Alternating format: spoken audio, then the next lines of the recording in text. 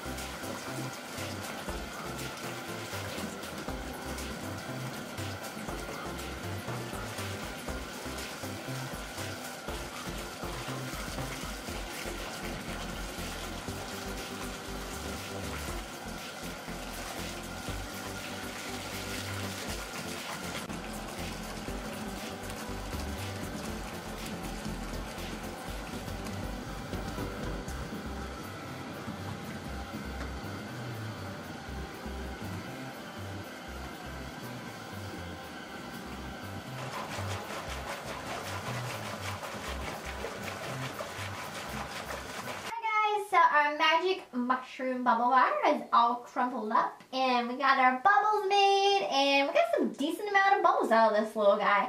Lots of nice bubblage going on here. Loving the smell of this. Smells so good. Just that sweet, I say strawberries and cream kind of scent. Smells like good enough to eat kind of smell. Um, and as far as our watercolor goes, we just have a light reddish watercolor and I am so excited to hop on in here and enjoy this bubble bath. Like I said, this bubble bar was really hard to get on the uh, kitchen, so definitely gonna enjoy this one. So I will be back with what I thought afterwards. Alright guys, I'm finished with my magic mushroom bubble bar and I will say there is a reason why this one sells out so fast. Not only was this just super adorable looking, but I loved this bubble bar. It smelled amazing and it was pretty moisturizing as well. My skin feels good and I definitely still smell it lingering on my skin. Made lots of bubbles, just overall perfect bubble bar in my opinion and it's really making me want um, another shower gel of the yummy yummy yummy scent. So I might have to hop on over to the Lush Kitchen Instagram and request that because I need more of this scent in my life. So let me know what you guys thought of this bubble bar demo. If you're not already subscribed just hit that button and I will see you next time